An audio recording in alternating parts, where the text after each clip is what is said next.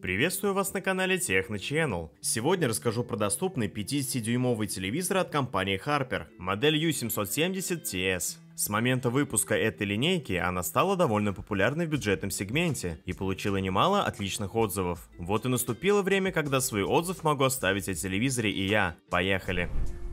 Дизайн нашего героя соответствует всем современным телевизорам. Это 50-дюймовый экран с тонким обрамлением. Монолитная рамка, обрамляющая экран, изготовлена из черного пластика с зеркально-гладкой поверхностью и без покрытия. Рамки вокруг экрана довольно узкие, почти как в топовых моделях мировых производителей. Нижняя рамка традиционно чуть шире. На ней посередине есть накладка из прозрачного пластика. Она прикрывает инфракрасный приемник, пульта дистанционного управления, там же механический выключатель. Всего одна кнопка. Ей можно управлять базовыми настройками телевизора без пульта. При желании телевизор можно смонтировать на стену. На тыльной стороне есть совместимые крепления 200 на 200. Это я и сделал. Кстати, пару слов об этом. К телевизору я докупил Кронштейн Harper TVFW55. Это универсальные настенные крепления для LCD и LED телевизоров, рассчитанные на нагрузку до 30 кг. Он совместим с телевизорами, имеющими отверстия для крепления по стандарту VECA до 400 мм. К ним как раз подходят телевизоры с диагональю от 17 до 55 дюймов. Корпус по нынешним меркам не самый тонкий. Самая широкая его часть составляет 88 мм. Обусловлено это использованием тыловой подсветки Direct LED, у которой светодиоды размещены не по краям экрана, как у Edge LED, а по всей его площади. Это позволяет добиться более равномерной и качественной подсветки, но закономерно чуть утолщает корпус. Теперь пройдемся по интерфейсам снизу вверх. Разъем для подключения кабеля. Выше расположился цифровой аудиовыход. Далее три разъема HDMI, два комбинированных USB, разъем для антенны, разъем для подключения LNB, входной композитный разъем аудио-видео и слот расширения CI.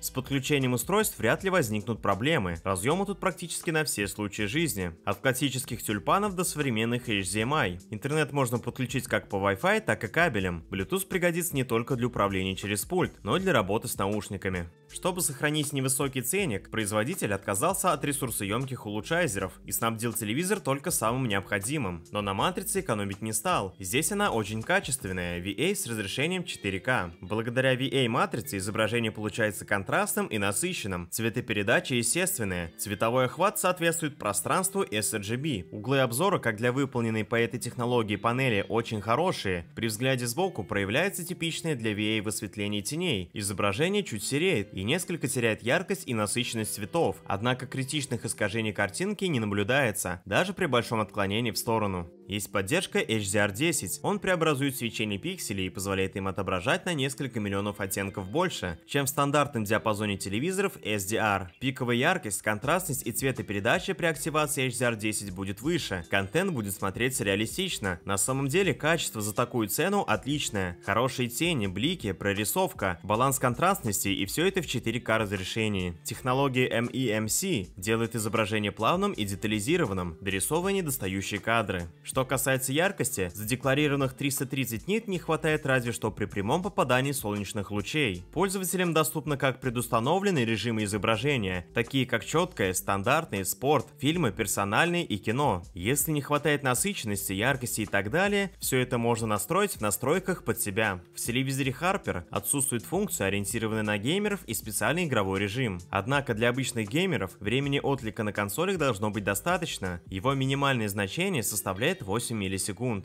Теперь перейдем к пульту. Он выполнен по классической схеме, что явно порадует любителей эфирных каналов. Также джойстик, кнопки быстрого доступа к некоторым сервисам, отдельная кнопка вызова голосового ассистента, традиционные клавиши громкости и управление плеером. Конечно, стоит отметить наличие микрофона. Какая сейчас погода в Москве? Вот что мне удалось найти. Благодаря микрофону можно подать практически любую команду Google Ассистенту, и далее телевизор сделает всю работу за нас. Это очень удобно. Мне нравится, что не нужно, например, в YouTube каждый раз вводить текст вручную. В Harper установлен четырехъядерный ARM Cortex A53 и 2 гигабайта оперативной памяти. По моему опыту это как раз минимальный джентльменский набор для современного умного телевизора. По факту интерфейс работает плавно, некоторые приложения грузятся дольше, чем ожидаешь, но все же тормозным телевизор не назовешь. Внутренняя память 16 гигабайт, опять-таки накопитель не безразмерный, но даже для тех, кто пользуется большим количеством приложений, его хватит. Что нужно знать о смарте? Это Google TV 10 версии. По сути, это Android, а а Google TV оболочка, которая оптимизирована для работы с пультом управления, потому что все приложения, что на Android, что на Google, это приложение, которое оптимизировано под работу с пультом, потому что у него есть голосовой поиск, а ищет он по приложению Google. Интерфейс Android TV стандартный, без визуальных изменений от производителя. Меню поиска наверху, голосовой и текстовый, системное меню в правом верхнем углу. Ниже список избранных приложений и лента рекомендованного контента в различных стриминговых сервисах. При желании пользователь может отредактировать содержимое главного экрана, убрав или добавив те или иные сервисы. Список предустановленных приложений довольно скромен, но это скорее плюс, чем минус. По крайней мере, здесь нет кучи онлайн-сервисов, из которых пользуются, как правило, только одним. В двух словах также скажу, что сюда можно установить любое Android-приложение через APK, например, скачав его на компьютере и вставив сюда флешку, либо через встроенный магазин Google Play. А с помощью Chromecast на большой экран можно отправить и сам экран смартфона, транслирует таким образом контент из любых приложений. Что насчет звучания? Harper оснащена акустической системой со звуком 2.0. Система состоит из двух широкополосных динамиков общей мощностью 16 Вт. Такой системы вполне достаточно для повседневного просмотра кино или видео на YouTube. Диалоги слышатся четко и разборчиво. Есть, кстати, и для них специальная настройка. Но стоит сказать, что при просмотре экшн-фильмов не хватает басов. Кроме стереозвука, телевизор оснащен режимом объемное звучание и Dolby Audio. Также для ручной настройки звука имеется эквалайзер. Сейчас послушаем, как звучит телевизор.